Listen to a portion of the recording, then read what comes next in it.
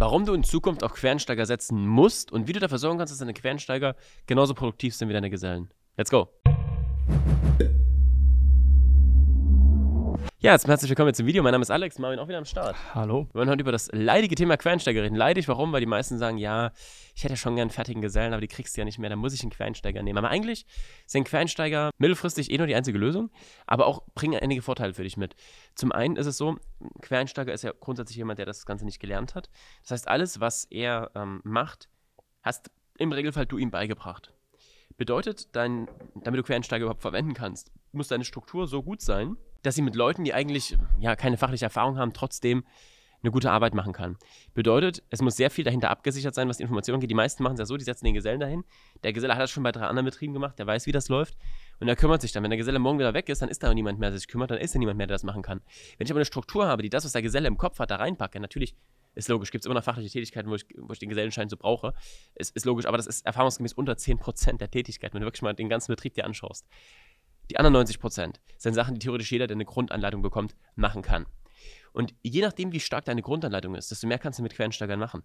Jetzt ist die logische Konsequenz bei dem Quereinsteiger, der verdient nicht das Geld, was ein Geselle verdient. Auch logisch. Ein Geselle kriegt seine 22, 23 Euro, ein Quereinsteiger vielleicht 16. Wenn du den Quereinsteiger aber dazu bringst, dass er mal 80, 90 Prozent des Gesellenjobs machst, kann er theoretisch 80 Prozent des Gehalts bekommen. Das heißt, du hast dann nicht irgendwelche Quereinsteiger, du hast dann die besten Quereinsteiger plötzlich. Das heißt, du hast dann einen Quereinsteiger, der kann seine 20 Euro die Stunde bekommen, überhaupt kein Thema weil der bringt auch das, was der Geselle gerade bringt, fast zumindest. Hier hängt es aber von zwei Faktoren immer ab. Erster Faktor, wie gut bist du in der Lage, Leute intern auszubilden? Und das kann zum Beispiel so aussehen, dass, das ist, sagen wir ein bisschen Elektrikerbetrieb, dass dann der, der ähm, Quereinsteiger die ersten drei Monate die ganze Zeit nur Steckdosen an die Wand macht. Die ganze Zeit. Das Wichtige ist, gerade bei Quereinsteigern, dass du halt nicht drei, vier Monate brauchst, bis der überhaupt arbeiten kann. Das Wichtige ist, dass er schon in der ersten Woche arbeiten kann, weil der muss es gerne natürlich wieder reinbringen, muss übrigens jeder Mitarbeiter. Das ist nicht nur bei Quereinsteigern so, aber gerade bei Quereinsteigern werden oftmals noch ganz aufwendige Verfahren dann intern gemacht, dass man irgendwie den zwei Monate mit einem Gesellen mitschickt, in Hoffnung, er weiß dann irgendwas. Dann soll er trotzdem den Job von den Gesellen machen, was natürlich dann auch wieder nicht klappt. Am besten ist es, du filetierst wirklich bei deinem Betrieb, überlegst dir, was für eine Qualifizierung brauche ich für den jeweiligen Schritt und für Steckdosen ja. an die Wand machen, das könnte ich jetzt machen. Ich bin handwerklich nicht begabt. Ja, Kabels, äh, Kabel verlegen. Exakt. äh, also Meter lang, äh, hunderte Meter lange Kabel verlegen oder ähm, durchs ganze Haus, durchs ganze Gebäude. Dafür musst du jetzt auch nicht unbedingt ähm, die qualifizierteste Person sein. Dass er keine zwillingen Hände haben, aber das kann grundsätzlich jeder, der es genau. mal erklärt bekommt. Über ein, zwei Tage Schulung. Genau. Und schon kann der Wert liefern. Ist logisch. Du kannst, ist jetzt auch klar, jetzt kommt natürlich wieder die andere Fraktion, die sagt, ja, ich habe nur fünf Leute. Wie mache ich denn das jetzt? Weil äh, faktisch, ja, ich, ich kann halt nicht so einzeln die Aufgaben aufsplitten, weil dafür sind wir zu klein. Ist korrekt. Dieses mit den Kabelverlegen und Steckdosen, das ist vielleicht bei einer Größe von 20, 30 Mann ab, da geht das. Wenn du kleiner bist, nichtsdestotrotz, braucht er vielleicht einen Moment länger, kann vielleicht noch nicht Vollzeitkabel verlegen, bringst du ihm trotzdem das als erstes bei. Weil dann macht er die 10% eurer Tätigkeiten, die halt mit Kabelverlegen und sowas zu tun haben, erstmal. Lernt dabei die zweiten 10%, lernt die dritten 10%, ist aber schon in der ersten Woche produktiv.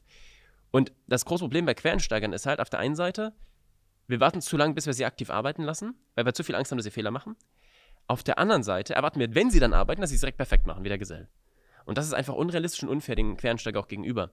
Das Ziel sollte eigentlich sein, er soll von Tag 1 an kleine Sachen schon machen, im besten Fall, vielleicht Tag 2 oder 3 an, aber du weißt, was ich meine. Kleine Sachen machen, er soll, soll, die Schulung von ihm soll möglichst komplett unaufwendig für dich sein. Bedeutet am besten eine Art Videokurs oder sowas, wo er das alles lernt. Warum? Weil er nicht ein Geselle ihn die ganze Zeit begleiten muss und damit doppelte Zeit drauf geht. Vor allem noch Gesellenstundenlohn, der deutlich höher natürlich im Regelfall abgerechnet werden kann, auf jeden Fall. Als der von dem, äh, von dem ich sage jetzt mal, Helfer einfach.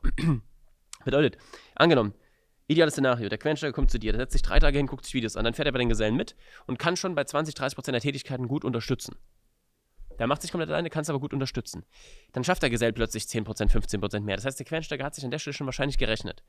Gleichzeitig erfährt er im nächsten Monat die nächsten drei, vier Tage, wo er dann eine Schulung durchläuft. Oder vielleicht die nächste Woche schon einen Tag. Ja. Das heißt, er lernt immer weiter sukzessive dazu.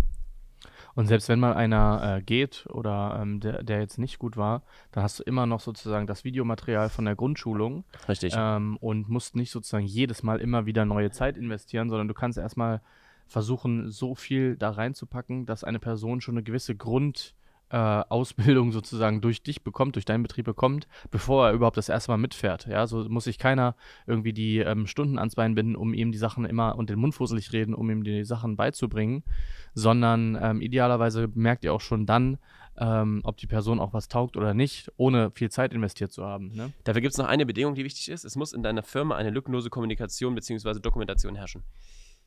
Wenn es so ist, dass alles, was die Mitarbeiter machen, an jedem Kundenprojekt, kurz dokumentiert ist zumindest, kann morgen ein komplett neuer Mitarbeiter kommen, der muss mit niemandem reden, der sieht genau, was abgelaufen ist, der versteht durch die Schulung, wie es zu interpretieren ist und wie es dokumentieren soll und kann mitdokumentieren. Problematisch wird es, wenn das alles in den Köpfen der Leute abläuft und dann der eine geht, weil dann sind da fünf Sachen offen und weiß keiner, was genau der Punkt war, muss erstmal die ganze Baustelle checken, was hat er schon gemacht, was hat er nicht gemacht. Das heißt, damit du so arbeiten kannst, damit du auch die einfache Möglichkeit hast, mit Zweifel einen Quereinsteiger zu ersetzen, der doch nicht passt, brauchst du eine lückenlose Dokumentation über den ganzen Prozess hinweg. Wenn du das aber gewährleistest, dann kannst du Quereinsteigern ein richtig geiles Arbeitsumfeld bieten, wo die von Anfang an Wert schaffen können, wo sie von Anfang an sich selber reinlernen können, auch immer wieder neue Dinge dazulernen und Gehalt verdienen können, was ihnen sonst nicht mal jemanden Gesellen zahlen kann. Ja. Teilweise. In dem Sinne, hoffen, du hast ein paar Sachen mitgenommen. Wie gesagt, Quereinsteiger-Thematik wird in Zukunft eh kommen, also du musst dich damit auseinandersetzen. Wenn du es nicht machst, deine Konkurrentin macht es auf jeden Fall. Einige davon, auch nicht alle, natürlich. In dem Sinne, wir haben viele weitere Videos, wie du solche Schulungsunterlagen schaffst, wie solche Sachen generell funktionieren. Deswegen abonniere den Kanal auf jeden Fall an der Stelle.